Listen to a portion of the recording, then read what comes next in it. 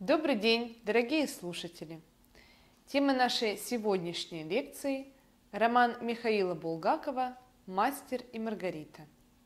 Мы разберем одно из самых интересных и талантливых произведений литературы XX века. Покажем сюжетные линии романа, поговорим о его героях и связи с исторической ситуацией в России начала века, становлением нового государства – порождением новых отношений и переплетением судеб и времен друг с другом. Времена меняются, но остаются вечными любовь, вера и порядочность. Сегодня мы рассмотрим следующие вопросы. Мастер и Маргарита. Жанр и содержание произведения. История любви. Контрасты в романе. Воланд и Иешуа. Вечный приют и прощение. Фантастический роман Михаила Булгакова. Роман Булгакова «Мастер и Маргарита» по праву считается одним из шедевров литературы XX века. Это произведение, которое относится к вечным, наряду с такими книгами, как Библия, Фауст Гёте и некоторыми другими. В них ставятся философские вопросы – обсуждаются вечные проблемы жизни, смерти, любви. Жанр произведения был определен в свое время самим автором как фантастический роман. Рядом с этим указанием следовал целый список возможных названий романа. «Великий канцлер», «Сатана», «Вот и я», «Шляпа с пером», «Черный богослов», «Он появился», «Подкова иностранца». Этот список сам по себе уже указывает на то, что главным героем произведения должен был стать Воланд, сатана, появившийся в Москве со своей свитой. И это не просто сатана, а всемогущий субъект, противопоставляющий свое действительное могущество мелким и ничтожным по сравнению с ним, действующим в реальной жизни официальным лицам – Берлиозу, Лиходееву, Магарычу, Павианову и многим другим. Образы сатаны и Христа необходимы были Булгакову, чтобы показать, какой мелкой является реальная жизнь авторитетных лиц по сравнению с абсолютной истиной и верой. И истина тоже имеет две стороны. Истина Воланта и Ганоцри, прообраз Христа. Со временем в романе появились другие герои. Мастер, талантливый писатель, попытавшийся работать в период диктатуры, и его подруга Маргарита. Жизнь и судьба этих героев произведения оказывается связанной с историей Христа, со встречей со святой сатаны, с будущим, дарованным им покоем. Дом как убежище и тайный приют – Дом может оказаться весьма сомнительным приютом для его жильцов. Так Лотман, анализируя образ дома в статье «Дом в мастере Маргарите», вводит понятие «антидом» с его главной характерной чертой. Из такого рода домов бесследно исчезают жильцы. Идеальным примером антидома в романе «Мастер и Маргарита» служит с точки зрения Лотмана – Коммунальная квартира – распространенная форма жилья в Советском Союзе и в России. Коммунальная квартира практически лишает человека личного пространства, поскольку вся жизнь происходит на виду у соседей. Общая кухня, общие разговоры, тонкие стены, не заглушающие разговоры, бесконечный шум и крики детей в общем коридоре. В такой обстановке нет возможности отгородиться от внешнего мира, нормально отдохнуть и насладиться покоем своего маленького космоса. Но даже в таком обществе людей, испорченных квартирным вопросом, предателей, лгунов, богоненавистников, все же можно встретить настоящие, искренние человеческие чувства. Настоящую любовь, преданность, верность. Примером тому служит история любви безымянного талантливого писателя, который известен нам как мастер, и его подруги и верной спутницы, любовницы и тайной жены Маргариты. Отношения мастера и Маргариты покрыты тайной для окружающих. Маргарита никогда не говорила мужу о своей связи с другим мужчиной. Даже в прощальном письме она не раскрыла причину своего ухода. Она была тайной женой мастера, втайне навещала его, даже своей горничной Наташе она не раскрыла душу. А рассказывая о своей любви Ивану Бездомному, мастер также не выдает ее имени. Большую часть времени влюбленную проводят в подвальчике мастера, отгородившись от всего мира. Тайном приюте они наслаждались особой атмосферой духовной близости. Мастер спокойно сочинял роман о Понтии Пилате, а Маргарита готовила ему завтрак, убирала комнаты, перечитывала написанное им или занималась рукоделием.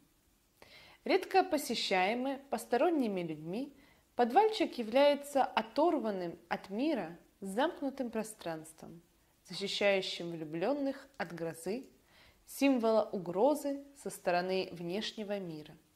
И полутемный свет в подвальчике как нельзя лучше подчеркивает таинственность их отношений, которые не видны при свете и оттого никому не известны. Подвальчик стал крепостью их любви, убежищем, их уютным жильем, которое автор ласково называет «подвальчик», несмотря на то, что речь идет о подвале дома, который, по идее, не должен быть пригодным для постоянного проживания. Сам же особняк, в подвале которого находится тайный приют мастера и Маргариты, тоже оказывается стареньким. Мебель и убранство – все старое. Иван Бездомный в своем воображении может видеть картину, которую рисует ему мастер, рассказывая свою историю. В подвальчике мастера старая мебель, как и весь дом, говорит о материальном неблагополучии. Надо сказать, что мастер выиграл 100 тысяч, и у него было достаточно денег купить себе дорогую мебель, и поселиться в роскошной квартире. Но вместо этого он истратил деньги на покупку книг. Книги – вот что самое дорогое и ценное в этом приюте. Полки с книгами свидетельствуют об интимности, культурной духовности мастера. Он равнодушен к миру вещей, его влечет творчество, мир не материальный, а духовный. В своем оторванном от внешнего мира доме он может спокойно творить, и здесь же развиваются его отношения с Маргаритой. И творчество, и настоящая любовь – все происходит в подвале, подземелье, пространство которого противостоит наземному внешнему миру, прежде всего дому Грибоедова, где люди, проживая бездуховную, бесстыдную, пустую, полную лжи жизнь, жаждут благополучия, лучших жилищ и сытной еды – не понимая ценности настоящей любви. Контрасты миров, контрасты времен. Булгаков создает контраст с двух миров – подземного и земного. Это контраст истинного у мастера и ложного творчества у членов массолита. Настоящей любви и полового влечения. Немало москвичей и писателей имеют любовников или любовниц духовного богатства и материального благосостояния, тепла и холода. В печке у мастера всегда не просто горел, а пылал огонь.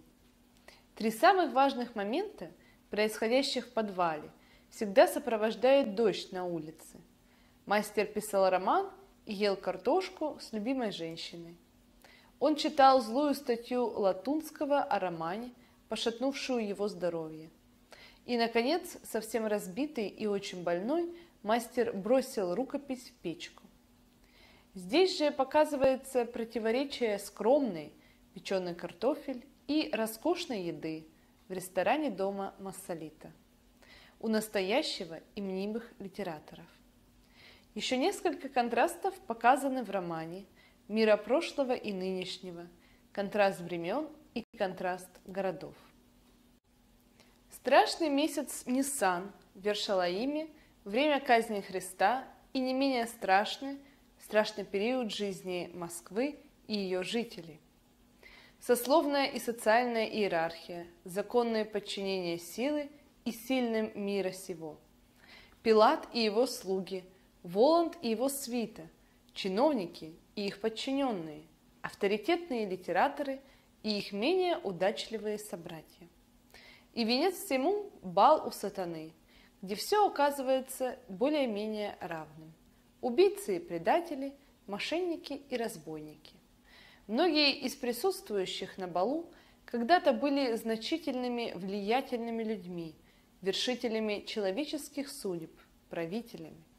Но ничто не вечно в этом мире, которым руководит высшая сила. При встрече с ней, при осознании ничтожности пустой возни и борьбы за ложные идеалы, герои по-разному начинают воспринимать окружающий мир со всеми его ценностями. Никудышний поэт бездомный становится хорошим историком. Красавица-служанка Наташа предпочитает добровольный уход из этого мира в иной, более интересный и насыщенный для него. В нем она встречает своего избранника на балу Воланда – знаменитый конферансье Москвы Жорж Бенгальский перестает шутить, бросает свою профессию и живет в уединении и так далее. Сгорает дом Грибоедова как символ ушедшего времени эпохи. Мы знаем, что на его месте будет построено нечто лучшее и значительное. Временный приют и вечный приют. Приют мастера в подвале также недолговечен – Счастье закончилось завершением романа. Литературная травля привела к болезни мастера и породила множество страхов. Способная ранее защитить мастера и его тайную жену от грозы, теперь приют не может спасти его от страшной осенней тьмы, символа темных сил московского литературного мира. Не горящей ночью свет, спать мне пришлось с огнем. Незакрытое окно, оно было закрыто. Не могли помешать тьме, принявшись воображение больного мастера облик спрута с очень длинными и холодными щупальцами проникнуть в жилище.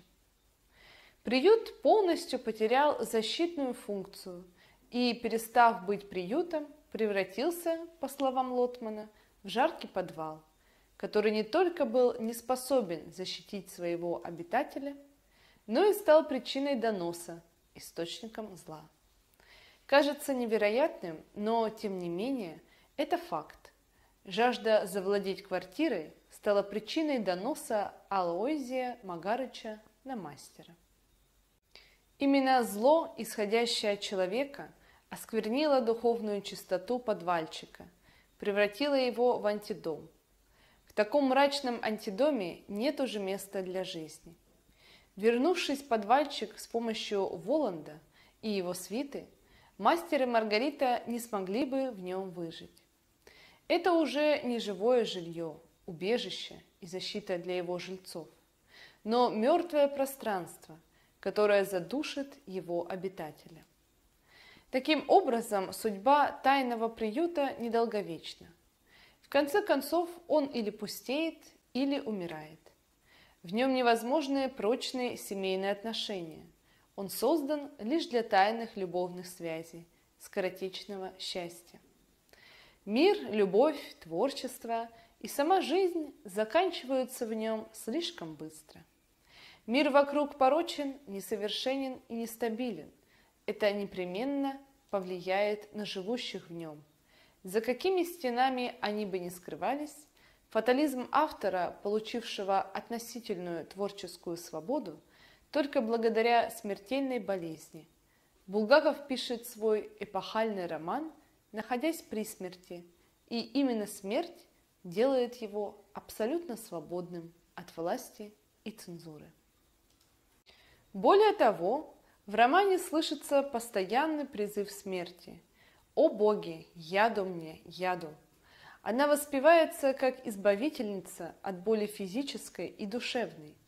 Невозможно читать это произведение и не вспоминать его автора, прикованного болезнью к постели, находящегося на пути в иной вечный мир, которого он не страшится, который ждет его и представляется им как вечный приют. Подвальчик мастера выступает антитезой вечному приюту, где люди обретают семью, покой и счастье. В такой приют с радостью отправляется мастер, а с ним и его вечная спутница и жена Маргарита. Потому что те, кто любит, должны разделять участь того, кого они любят. В том мире верный пес Банга повсюду сопровождает своего хозяина Понтия Пилата. И мы понимаем, что прокуратор был наказан, но не обречен одиночеством. Рядом находилось верное, любимое им существо. Мир милосерден, щедр для всех, кто открыт любому проявлению любви. Все будет правильно, на этом построен мир. Фатализм автора параллелен его космическому оптимизму, вере в правильную организацию этого мира, его развитие, а значит и в будущее. Воланд и Иешуа. Необыкновенно интересными и спорными являются и два образа из потустороннего мира – Воланд и Иешуа. Здесь надо сказать, что изначально – Волан заявлен как власть и сила, вечная движущая единица, как бы вершитель судеб мироздания. Именно ему и его свите приходится разбираться со всеми интригами, происшествиями, судьбами отдельных героев и целых организаций и выносить решения, которое никогда не бывает положительным для подлецов, трусов и негодяев. С одной стороны, это нечистая сила, которая, как известно, поощряет такого рода людей. С другой стороны, это вечный закон мироздания и подлость, предательство не могут победить. Не случайно роман начинается знаменитой гетовской цитатой из Фауста. «Я – часть той силы, что вечно хочет зла и вечно совершает благо». Кажется странным, что Иешуа Христос, олицетворение Бога, обращается к Воланду с просьбой помочь мастеру и Маргарите. И вообще сам не вмешивается ни в какие земные процессы, оставаясь как бы в стороне, наблюдателем всего происходящего. Понятно, что тому образу, которым представляет Христа автор произведения, и не доходит, не подобает быть вершителем и судьей, он милосерден ко всем, и мы это прекрасно понимаем. Ему жаль было своего предателя, доброго человека Иуду, жаль разбойника, принимающего муки рядом с ним на столбе, жаль истязателя Марка Крысобоя, жаль всех таких слабых, по натуре добрых людей, которых испортила жизненная ситуация, в которую они попали. Мы понимаем, это и есть в представлении автора сам Господь, всепрощающий, милосердный, понимающий тебя и принимающий со всеми твоими недостатками. Он берет тебя в свет или просит для тебя покоя, как попросил его для мастера и Маргариты, поскольку они не заслужили света, он им не нужен, а нужен, как настрадавшимся в жизни, просто покой. Прощение и вечный приют. Вечный приют и вечный дом – вот что получают главные герои произведения. Вот то, о чем мечтает сам автор, а возможно и каждый из нас, задумываясь о будущем и вечности. И очень важно принять эту вечность, будучи для нее свободным – то есть не обремененным никакой тяжестью, грехом, которое лишает тебя покоя в той жизни. Образ Фриды, умоляющий не напоминать ей о загробном мире и о ее грехе, то есть дать ее душе покой.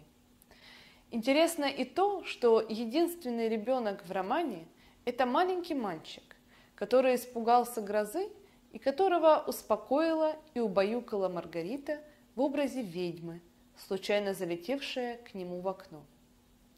Детей в романе словно ни у кого нет, и быть не может, все как бы лишены возможности их иметь. Возможно, и это становится одной из главных причин несчастной жизни богатой и благополучной в материальном плане Маргариты.